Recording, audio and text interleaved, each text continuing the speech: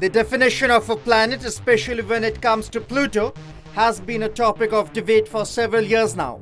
Pluto had been initially considered as the ninth planet from the Sun, but later its planethood had been questioned as several objects of similar size had been discovered. As a result, Pluto, which had been the first object to be discovered in this belt, was demoted to a dwarf planet in 2006.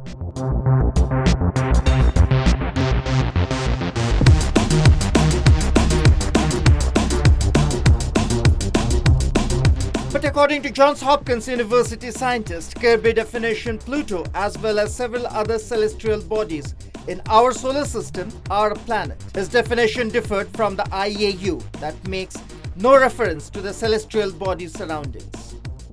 News Desk